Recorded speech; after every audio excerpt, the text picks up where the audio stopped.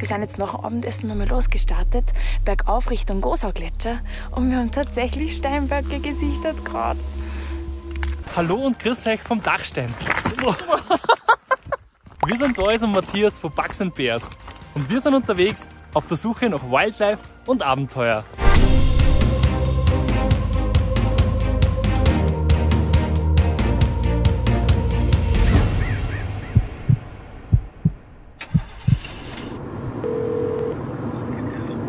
Hallo, da spricht der Junge mit Matthias. Ähm, ich hätte eine Frage. Ich habe gehört, bei euch sind immer wieder die Steinböcke unterwegs. Ist das richtig?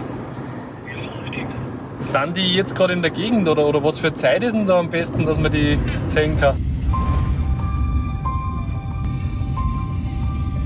Richtig klare Gletscherseen mit einer Wahnsinnsbergkulissen.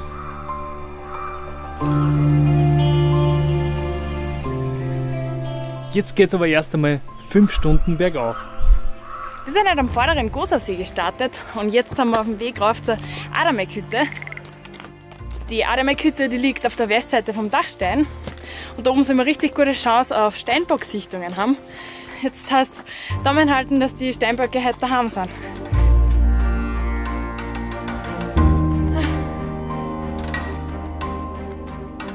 Ausnahmsweise trage ich heute einmal den Großteil von unserem Gepäck, weil wir Matthias seinen Rücken nur schonen wollen. Und dementsprechend ist auch richtig heiß. Aber die Aussicht da oben ist auch so der Wahnsinn. In die eine Richtung hat man die Gosa Seen nach unten, in die andere Richtung diese mega Felsen. Es ist auch wirklich wunderschön da.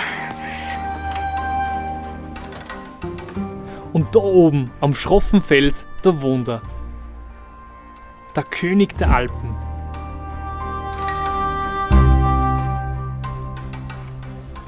Anfang des 19. Jahrhunderts war der Alpensteinbock so gut wie ausgerottet. Nur knapp 100 Tiere haben in Italien überlebt. Die Schweizer, die die Steinböcke wieder bei einer ansiedeln wollten, hat der damalige König aber keine abgeben. Also haben sie kurzerhand ein paar Kitze gestohlen und über die Grenze gebracht. Und von den gestohlenen Kitze stammen auch die 4500 in Österreich lebenden Alpensteinböcke ab.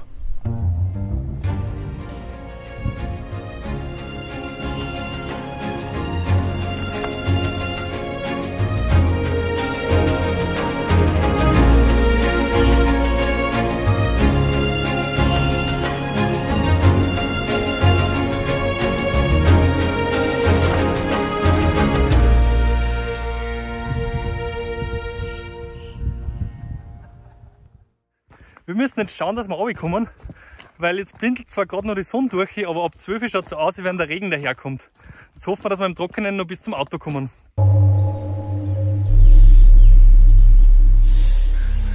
Jetzt haben wir gerade eine Kreuzotter entdeckt, eine ganz schwarze, die heißt auch Höllenottern. Und die da hat sich offensichtlich gerade den Bauch vollgeschlagen.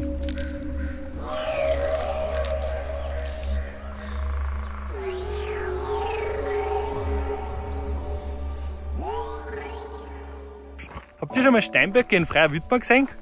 Wir würden uns freuen, wenn ihr uns in die Kommentare schreibt, wo vielleicht ein guter Ort ist, um Steinböcke zu sehen. Bis zum nächsten Mal und pfiat euch!